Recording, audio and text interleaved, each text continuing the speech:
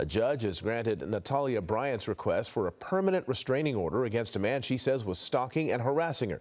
The 19-year-old daughter of Kobe and Vanessa Bryant filed the request against 32-year-old Dwayne Kemp last month. The court documents allege the Sun Valley man has been trying to contact her on social media since 2020 when she was just 17 years old. Bryant also said he sent her a message indicating he hoped they could have a child together. The documents also showed Kemp's social media page was filled with images of him holding guns, like here, and as part of the order, he now has to turn those guns in and will have to stay at least 200 yards away from her.